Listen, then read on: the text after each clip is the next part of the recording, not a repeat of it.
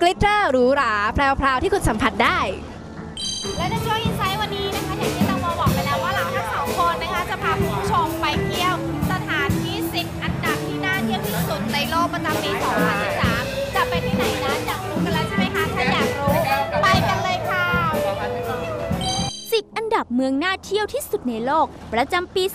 2013 อันดับที่ 10 เมืองโปโตอิกวาซู จังหวัดมิซิโอเนส ประเทศอาร์เจนตินา ดีที่สุดสำหรับครอบครัว กิจกรรม และการผจญภัย เมืองเปอร์โตอิกวาซูเป็นที่ตั้งของน้ำตกอีกวาซู ซึ่งทอดตัวเป็นแนวยาวระหว่างพรมแดนประเทศบราซิล และอาร์เจนตินา และได้รับเลือกให้เป็นหนึ่งใน 7 สิ่งมหัศจรรย์ทางธรรมชาติของโลกมาหมาดๆเมื่อหลายปีที่แล้ว ด้วยความที่เป็นเมืองท่องเที่ยว เมืองนี้จึงเต็มไปด้วยโรงแรมหรู สปา และสุดยอด hotel แถมยังมีสถานานที่ท่องเที่ยว และพิพิธภัณฑ์ศิลปะที่น่าสนใจหลายแห่งอีกด้วย อันดับที่ 9 เมืองอาร์ตดิส อาบาบา ประเทศเอธิโอเปีย ดีที่สุดในด้านวัฒนธรรม อาหาร ความคุ้มค่าอาดิสอาบาบา หรือว่าแอดดิสอาบาบา เป็นเมืองหลวงและเมืองใหญ่ที่สุดของประเทศเอธิโอเปีย ทั้งยังเป็นที่ตั้งขององค์กรระหว่างประเทศหลายแห่ง เช่นสำนักงานใหญ่องค์กรเอกภาพแห่งแอฟริกา และสำนักงานใหญ่คณะกรรมการเศรษฐกิจแห่งแอฟริกา ขององค์การสหประชาชาติเป็นต้น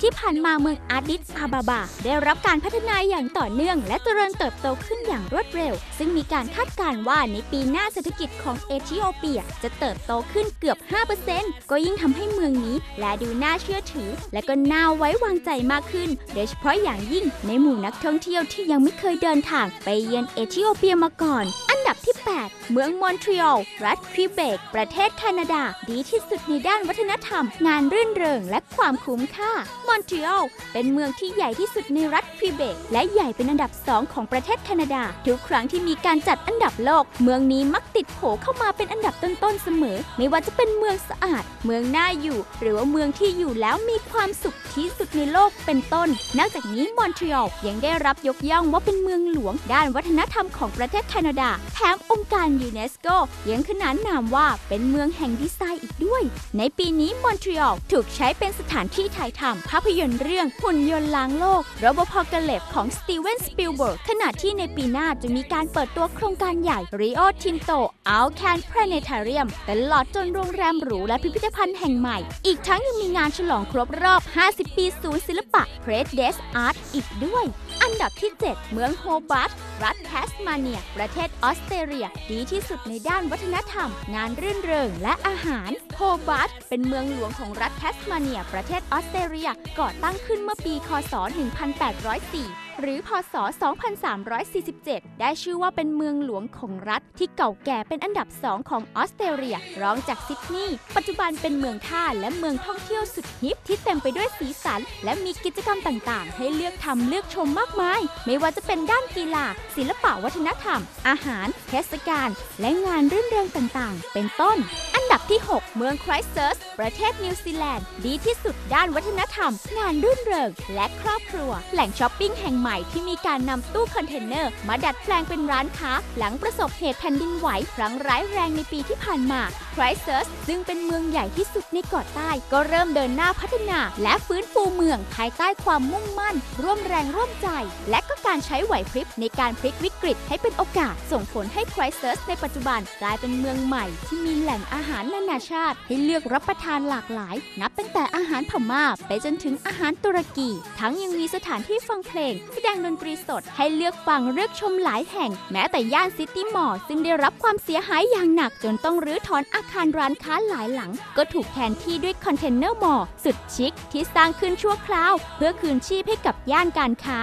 ดับที่ 5 กรุงปักกิ่ง สาธารณรัฐประชาชนจีน ดีที่สุดในด้านวัฒนธรรม ความคุ้มค่าและอาหาร ปักกิ่งเป็นเมืองที่มีขนาดใหญ่ เป็นอันดับสองรองจากเซี่ยงไฮ้ ซึ่งยังได้ชื่อว่าเป็นศูนย์กลางด้านศิลปะวัฒนธรรมของประเทศจีนอีกด้วย แม้การจัดแข่งขันกีฬาโอลิมปิกฤดูร้อนที่กรุงปักกิ่งจะผ่านไปนาน 4 ปีแล้ว แต่ยังคงทิ้งร่องรอยต่างๆ เช่นป้ายบอกทางภาษาอังกฤษ และสถานที่จัดการแข่งขันที่มีรูปแบบสถาปัตยกรรมอันโดดเด่น และเมื่อไม่นานมานี้ ได้มีการเปิดใช้รถไฟความเร็วสูง บนเส้นทางปักกิ่งเซี่ยงไฮ้ทำให้การเดินทางท่องเที่ยว ระหว่างสองเมือง สะดวกรวดเร็วยิ่งขึ้น และก็ใช้เวลาไม่ถึง 5 ชั่วโมงสำหรับการเดินทางราว 1,300 กิโลเมตร อันดับที่4ลอนดอนเดอรีไอร์แลนด์เหนือ ดีที่สุดในด้านวัฒนธรรม กิจกรรมและครอบครัวลอนดอนเดอรีหรือเดอรีเป็นหนึ่งในเขตการปกครองของไอร์แลนด์เหนือ ซึ่งได้รับการแต่งตั้งให้เป็นเมืองแห่งวัฒนธรรม ของสหราชอาณาจักรประจำปี 2013 นักท่องเที่ยวจึงไม่ควรพลาดการเข้าชมกิจกรรม ด้านศิลปวัฒนธรรมในเมืองเดอรี่ ที่จะจัดหนักจัดเต็มตลอดทั้งปี ไม่ว่าจะเป็นเทศกาลดนตรี การแสดงและก็การละเล่นต่างๆ ตลอดจนนิทรรศการด้านศิลปะ นอกจากนี้ในปีหน้าเมืองเดอรี่ ยังได้รับเกียรติให้เป็นเจ้าภาพจัดงาน All Ireland Fleadh ซึ่งเป็นเทศกาลประกวดดนตรีไอริชที่ยิ่งใหญ่ที่สุดในโลก จัดขึ้นในไอร์แลนด์เหนือเป็นครั้งแรก อันดับที่ 3 เมืองไฮเดราบัดรัฐอานทรประเทศ ประเทศอินเดียดีที่สุดในด้านวัฒนธรรม อาหาร และความคุ้มค่า ในอดีตไฮเดราบัดเป็นเมืองหลวงของรัฐปกครองตนเอง ภายใต้จักรวรรดิอังกฤษที่มั่งคั่งหลังอินเดียได้รับเอกราชจากอังกฤษวังและสวนที่สวยงาม ต่างถูกนำออกขาย บ้างก็ถูกรื้อทิ้ง หรือไม่ก็โดนมือดียกเค้า นับว่ายังดีที่วังหลายแห่งในเมืองเก่าของไฮเดราบัดถูกบูรณะซ่อมแซม ให้อยู่ในสภาพสวยงามดังเดิม และหนึ่งในนั้นก็คือฟารัตนูมาพาเลสที่ปัจจุบันกลายเป็นโรงแรมหรูเจ็ดดาว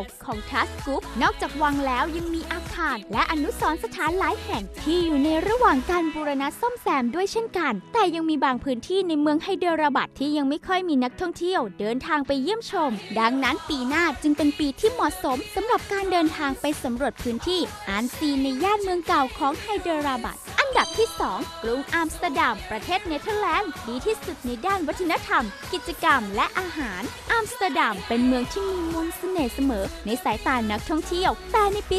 2013 เมืองนี้จะยิ่งเต็มไปด้วยสีสัน และมีกิจกรรมที่สำคัญ ให้ร่วมเฉลิมฉลองกันมากมาย ไม่ว่าจะเป็นการเฉลิมฉลองระบบคูคลอง ที่รายล้อมเมืองสี่ชั้น ครบรอบ 400 ปี งานฉลองครบรอบ 160 ปีวินเซนต์แวนโก๊ะพิพิธภัณฑ์วินเซนต์แวนโก๊ะจะเปิดให้เข้าชมอีกครั้ง ในวาระครบรอบ 40 ปี พิพิธภัณฑ์ไรส์จะเปิดให้เข้าชมอีกครั้ง หลังปิดปรับปรุงนาน 10 ปี วงซิมโฟนีออเคสตราดีที่สุดในโลก The Royal Concertgebouw Orchestra ในกรุงอัมสเตอร์ดัมจะครบรอบ 125 ปี นอกจากนี้สวนสัตว์ Artis Royal Zoo และศูนย์วัฒนธรรม Felix Meritis ก็จะฉลองครบรอบ 175 ปี และ 225 ปีตามลำดับด้วยเช่นกัน อันดับที่ 1 ซานฟรานซิสโกสหรัฐอเมริกา ดีที่สุดในด้านวัฒนธรรม กิจกรรม และอาหาร Lonely Planet เลือกซานฟรานซิสโก ให้เป็นเมืองน่าเที่ยวที่สุดในโลกประจำปี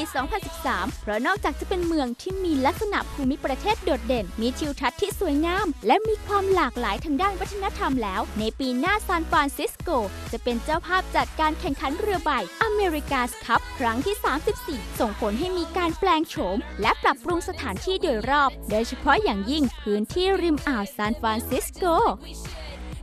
แล้วก็อย่าลืมนะคะหนุ่มๆจะดีมากเลยถ้าพาเราสองคนไปเที่ยวด้วย ที่สำคัญนะคะเราหยุดเรื่องแบบไร้สาระกันไปเพียงเท่านี้